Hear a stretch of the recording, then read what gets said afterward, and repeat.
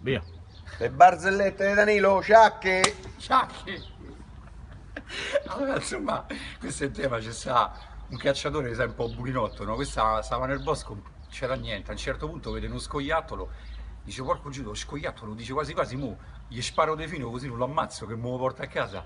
Insomma, gli tira, lo prende del stristo, sto scoiattolo casca giù, lui lo sta per raccogliere, che era ancora vivo, in quel momento il guardia caccia, questo prende e si confila dentro i calzoni, no? il guardia caccia, buongiorno, lui, buongiorno, buongiorno, tutto a posto, sì, tutto a posto, non ho preso niente, e si muoveva così, no? Dice, il guardia caccia gli fa, ma che c'ha problemi? No, no, non c'ho niente, non c'ho niente. Ma scusi, ma lei si sente male? No, io dico che non c'ho niente, non c'ho niente, insomma, lo prende, lo buttate fuori, e lo ammazza davanti al guardia caccia. Processo per direttissima, fa, dice, ma si rende conto del gesto che ha fatto? Lei ha ammazzato uno scoiattolo, specie protetta, ma poi davanti al guardia caccia. Ma come gli è venuto in mente da fare un gesto del genere?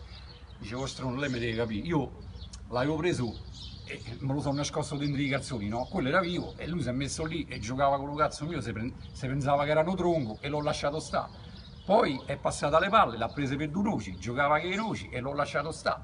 A un certo punto gli do di dietro e mi ha scambiato lo culo per la tana, entrava, usciva, andava, usciva e io l'ho lasciato perdere. Però quando ha provato a portare le noci dentro la tana non ci ho visto più, eh.